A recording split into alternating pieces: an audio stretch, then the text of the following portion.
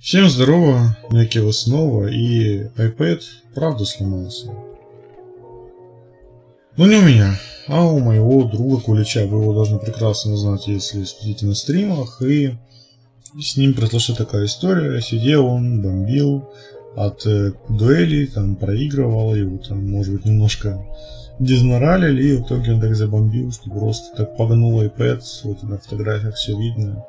Может быть, сгиб не сильный, не очень сильный, не то, что он прям там согнул пополам, что он разорвался. Нет, такого не было, но этого изгиба хватило, чтобы полностью все сломать, и он к мастеру обращался. Возможности починить нет, а устройство-то дорогое, стоит он сейчас, я смотрел, 60 косарей.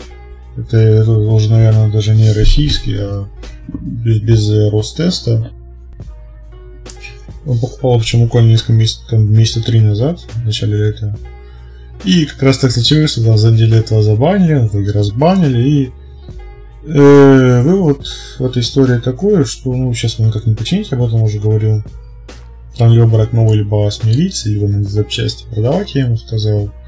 Вывод такой, что бомбеж, конечно же, может быть, он допускается, лучше уж выместить эмоции, чем это все держать себе. Но все должны быть э, границы, и там, если, вот, например, у меня дело всегда ограничивается немножко ну, там э, близком эмоций, там, ну, там побеситься на тиммейтов, но не более того.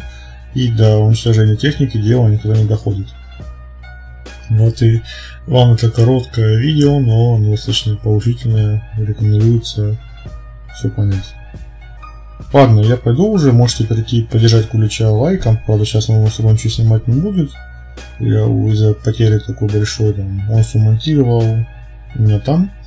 Ну, можете чисто для моральной поддержки поддержать его.